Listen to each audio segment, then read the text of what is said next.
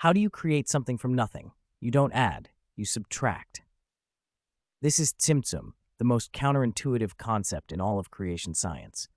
Before the beginning, there was only Ain Sof, infinite consciousness, not a being, not a location, pure energy vibrating at infinite speed, filling all space, perceived as total darkness because infinite frequency appears as void to bounded consciousness, to our ability to perceive wavelengths anyways.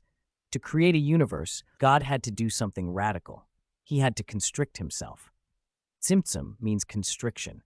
God compressed a portion of his infinite energy to carve out a hollow, a bounded region within the infinite field where confined energy could exist. This is why the Sefer Yetzirah uses the verb engraved, not wrote. You engrave by removing material. You carve by hollowing out space. This act separated light from darkness. Darkness isn't empty. Darkness is energy at rest, the absolute, the zero-point field, the virtual quantum state. It's infinite, non-local, unconfined energy existing in a state of all potentiality. Light is energy in motion, confined, bounded, oscillating within the carved-out space.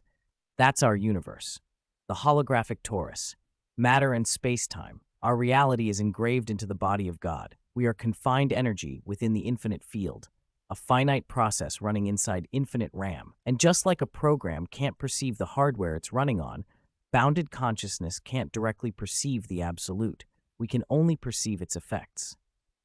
Full breakdown of Tzimtzum the physics of constriction, and why engraving is the most accurate verb for the start of what we know as creation. All in Connect to Source, available now on Amazon in all formats. Link in bio.